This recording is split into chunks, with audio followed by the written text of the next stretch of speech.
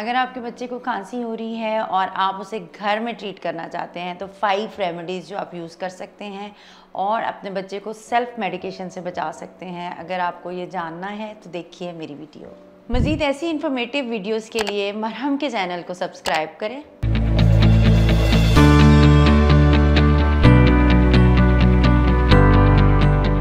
Allam I am doctor Binesh Ali और मैं as a child specialist काम कर रही हूँ इकरा मेडिकल कॉम्प्लेक्स में।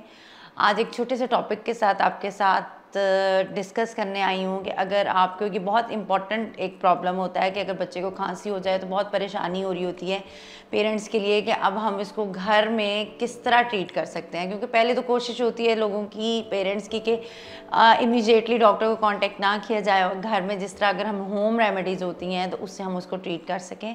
तो बिल्कुल आप कर सकते हैं होम रेमेडीज़ से ट्रीट फाइव आज आपको मैं टिप्स बताने वाली हूँ, जिससे आप अपने बच्चे की कफ को घर में ही ठीक कर सकते हैं। नंबर वन अपने बच्चे को बहुत ज़्यादा हाइड्रेशन लेवल मेंटेन करें। पानी लिक्विड्स इनटेक बहुत ज़्यादा इंक्रीज़ करें। इससे कफ में बहुत ज़्यादा अफेक्ट आता है।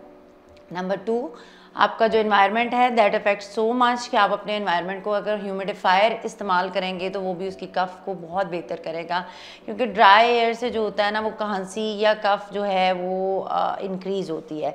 तो अगर एयर ह्यूमिडिफायर हम यूज़ कर लेते हैं तो उससे काफ़ी इफ़ेक्टिव होता है।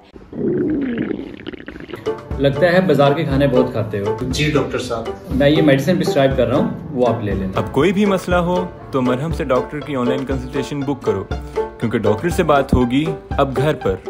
नंबर थ्री अगर आप जैसे ये तो हम सबको पता है जो हम पे भी यूज़ हुआ हमारे बड़े पेरेंट्स नानी दादी अम्मी अबू बताते रहे कि शहद यूज़ कर लो अगर आपको खांसी हो रही है। तो शहद वाकई इफ़ेक्टिव होता है। लेकिन यहाँ मैं एक चीज़ क्लियर करती जाऊँ, एक साल से बड़े बच्चे को अगर खांसी हो रही है तो आप शहद दे सकते हैं। अगर एक साल से कम बच्चा है तो प्लीज़ उसको आपने नहीं देना, क्योंकि उसमें एक डिज़ीज़ या कह लेंगे समटाइम रिएक्शन साइड इफ़ेक्ट हो जाता है बॉटलिज्म की तरफ़ बच्चा चला जाता है। तो साल से ऊपर आप उसको सूदिंग इफ़ेक्ट के लिए हनी दे सकते हैं। नंबर फोर अगर आपको लग रहा है कि खांसी उसकी नहीं ठीक हो रही तो आप उसमें सेलाइन ड्रॉप्स या सेलिनेज ड्रॉप्स यूज़ कर सकते हैं। या, या सिंपल नेबुलाइज़र आप अगर है मौजूद तो नॉर्मल सेलाइन से आप उसको नेबुलाइज कर सकते हैं। जो उसको सूदिंग इफ़ेक्ट देगा।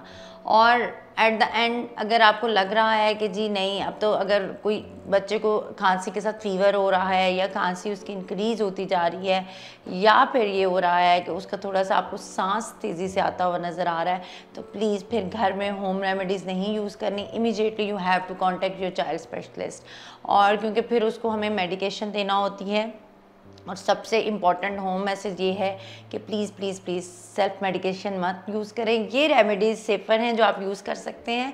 सेल्फ मेडिकेशन सम पेरेंट्स हम लोग इस तरह होते हैं कि ना जब आप डॉक्टर के पास आ रहे होते हैं तो आपने मल्टीपल मेडिसिन यूज़ कर ली होती है मल्टीपल कफ सिरप्स यूज़ कर ले होते हैं। तो फिर उसके बाद this is dangerous and this is harmful I hope आपको ये मेरी वीडियो अच्छी लगी होगी और आपको अफेक्टिव भी लगी होगी और आप इंशाल्लाह इसको यूज़ भी करेंगे। अगर आपको फिर भी कोई क्वेरी है तो आप मुझसे कमेंट्स में पूछ सकते हैं और अगर आप मेरे से कोई अपॉइंटमेंट लेना चाहते हैं तो हम मरहम के थ्रू क्लिनिकल अपॉइंटमेंट भी ले सकते हैं क्लिनिक के लिए और ऑनलाइन वीडियो अपॉइंटमेंट भी ले सकते हैं। Thank you.